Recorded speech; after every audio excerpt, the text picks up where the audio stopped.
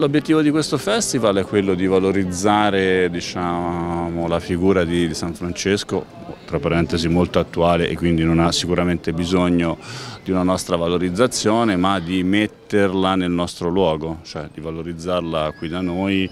nell'ambito de, del, del, suo percorso, cioè il percorso che, che lo portava da Assisi alla Verna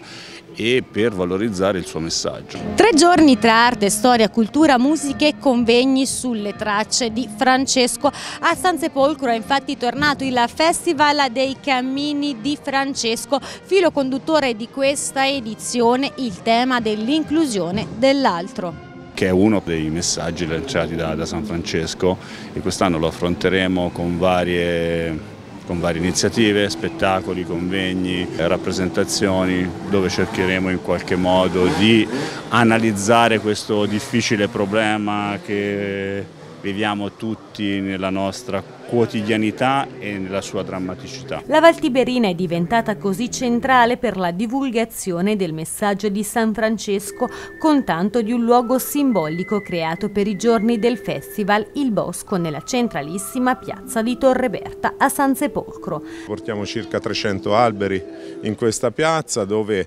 eh, facciamo riappropriare la, il centro urbano dalla natura, è come un rimpossessarsi a riguadagnare metri sani eh, di, di spazio. Altro filo conduttore di questa edizione il tema del rispetto del bene comune e dell'ambiente ed è proprio da qui che è nata la riflessione sull'importanza dell'acqua, risorsa essenziale per la vita del pianeta, oggi minacciata da uno sviluppo improprio, elemento anche al centro del libro sull'acqua di Michele Serra. L'acqua lombarda, alla quale il libro è dedicato, ha una storia molto particolare, prima di ricchezza agricola straordinaria, poi di enorme prelievo industriale, quindi l'acqua è servita per costruire acciaio, per costruire la siderurgia.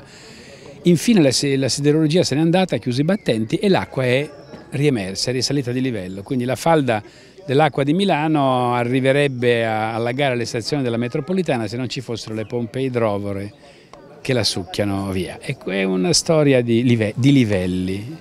Qui, proprio qui vicino, c'era l'orchestra più grande mai vista al mondo, una gigantesca orchestra di metallo che produceva senza sosta un suono sovrumano e profondo, il salmo interminabile della produzione industriale. Giorno e notte il battito solenne delle macchine smisurate che lavorano l'acciaio. Volenti o nolenti abbiamo diciamo, potere di governo sul mondo, è inutile che facciamo finta di no, abbiamo una responsabilità enorme, abbiamo tecnologie straordinarie che possiamo usare bene oppure male. Eh, e quindi ci tocca, ci tocca proprio capire che la terra è nelle nostre mani e,